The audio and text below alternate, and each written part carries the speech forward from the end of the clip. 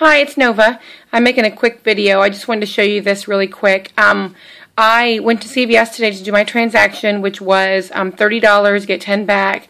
I bought 20 puffs because I had the coupons out of the battery packs, a dollar off two, as well as um, 10 of the Dawn dish soap that I had the 50 cent coupon off of the PG. What I wanted to show you is on the smaller boxes, which have a 56 count, it says a dollar off any Charmin coupon inside.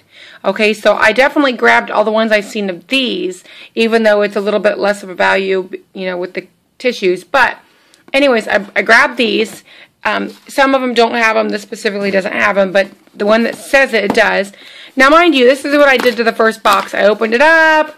I went like this. I felt inside right? I took the Kleenex out, installed them in that Kleenex, couldn't find the coupon, and silly me, it's right on the back of the tear. So, on the tear thing.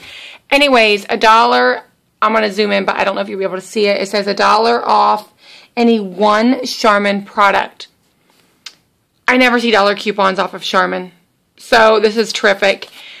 If all you get is the Kleenex for 99 cents, and the dollar coupon off of the next time you buy Charmin. To me, that's break even and you get free, free Kleenexes.